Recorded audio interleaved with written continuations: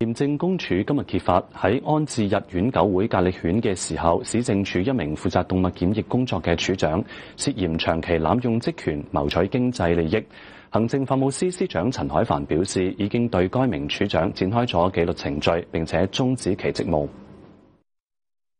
政公署揭發市政署一名負責動物檢疫工作嘅處長涉嫌濫用職權，指定自己持有股份嘅動物醫療中心為五百多隻格力犬進行絕育手術及醫療照顧，而且廉署仲指出呢個涉案人由二零一二年嘅七月起暗中將自己持股嘅貿易公司列入採購名單，令到呢個公司獲得超過一百二十次嘅採購判級，涉及八百多萬嘅交易金額。對此，澳門行政法務司司長陳海帆表示，現已對涉嫌濫用職權嘅官員開展。纪律程序已被法院下令终止职务。根据廉署嘅报告咧，佢哋已经系做咗相应嘅内部处理，系展开咗纪律程序噶啦。咁我亦都系指示属下嘅各个部门咧，系要做好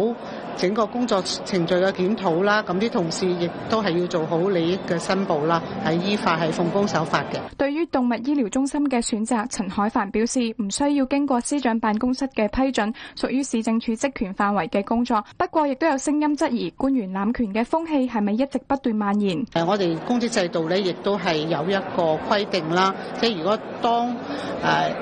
一個公務員佢擁有一啲誒股份嘅話咧，佢係有一定條件嘅。如果佢係從事私人職業嘅話，佢係必須係得到批准。如果唔係屬於從事私人職業，比如講佢只係擁有一啲公司嘅股份唔參與嘅話咧，其實喺有利益衝突嘅時候，佢都係必須係迴避咧同埋申報嘅。